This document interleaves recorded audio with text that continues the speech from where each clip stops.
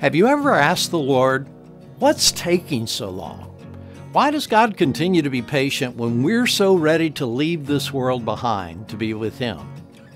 In 2 Peter chapter 3, Peter explains this great mystery of God's patience as we anticipate His soon return. In the last days, Peter reminds us, scoffers will come. And they'll say, What happened to the promise that Jesus is coming back?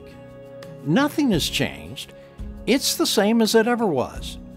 But they intentionally forget that God made the heavens and the earth just by speaking the Word. And by the same Word, the present heavens and earth are waiting for the day of judgment. Then listen closely as Peter explains our great hope, beginning in verse 8. But you must not forget this one thing, dear friends. A day is like a thousand years, and a thousand years is like a day. The Lord isn't really being slow about His promise, as some people think. No, He's being patient for your sake. He does not want anyone to be destroyed, but He wants everyone to repent as we watch the world around us spinning out of control, as Christian values are undermined and patience is wearing thin, Peter reminds us that God's promise is not just for you and I, but for all of mankind.